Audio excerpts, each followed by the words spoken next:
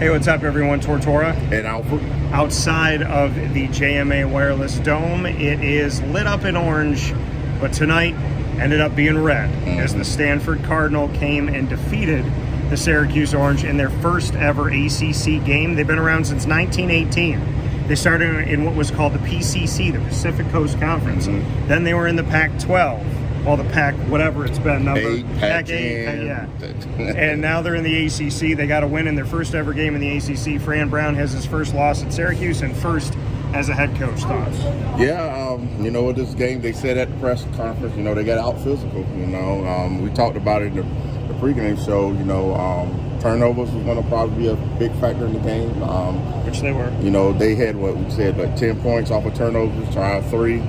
So that made a big difference in the game. Um, it was close, you know. I give Syracuse credit. They didn't hang their head. They fought, had opportunity. They took the lead late in the fourth quarter, you know, and then a critical fourth and eight play, you know, give credit to Stanford. Um, they made the play and, and, and ended up being victory.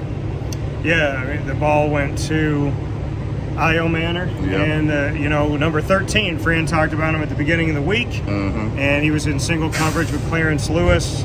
I got messages from alumni after the game saying, why don't they send the safety over the top? Something you were talking about. Yeah. So uh, tough there as all they needed was a field goal and running the clock down. By the way, Kenney, uh, Emmet Kenney, their uh, kicker, four for four, 100% on his field goals on the night and uh, Brady Denaburg, he hit one. That was the only mm-hmm. points off of turnovers for Syracuse were three points. But yeah, there was mistakes made.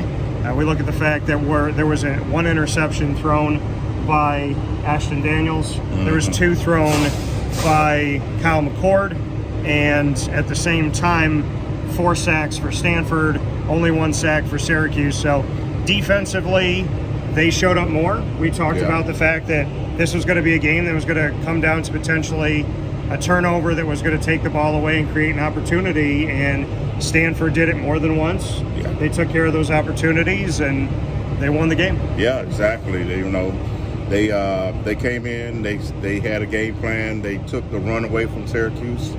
Um, you know, Syracuse had a couple players not playing, and it is what it is. The guys stepped up in the spot. You know, again, like I said, they had a chance to play through it in the fourth quarter. Um, we didn't take advantage early in the game with opportunities that we was was given, but um, you know, just go back to the drawing board. Um, still, the season's still ahead of them. The, you know, this is again, like you said, uh, something they can learn from and, and take it from there. Yeah, a lot of positives for Syracuse too. Devin Grant gets his first interception in orange after having five last season to be sixth nationally when he was with the Buffalo Bulls. Kyle McCord has his first rushing touchdown ever which was in his career, uh, never had any at Ohio State. It was a 19 yard run and a leap into the right side of the end zone. Jackson Meeks has his first ever career touchdown collegiately, as he didn't have any at Georgia, and he was able to get one late on a 13 yard slant from Kyle McCord. So, a lot of firsts for Syracuse. McCord yeah. had over 300 yards again, had over 330. So that means in his first three games in Orange, he has had 330 or more yards in every single game mm-hmm. and uh, has gotten a lot of guys involved. Trebor Peña continued to look good as well. And I said Justin Barron was a rover. I said he was a DB or a linebacker. And in the post game, Fran said now he's a linebacker. Yeah, exactly. So that that might explain why he wasn't in the back end. But we were talking about. I was hoping he may be, you know, maybe helping out uh, the, the cornerback. But hey, he was playing the position he was put in. So, yeah. Yeah. Congratulations to the Cardinal on a historic win for them. Mm-hmm. And this is the first ever game played between the two. Syracuse starting football in 1899 at Stanford, as I said, in 1918. They had never played each other. Now they have. And Stanford with a win in their first game in the ACC. And both teams will move forward. They're both 2 and 1 overall. Stanford 1 and 0 in the ACC, Syracuse 1 and 1.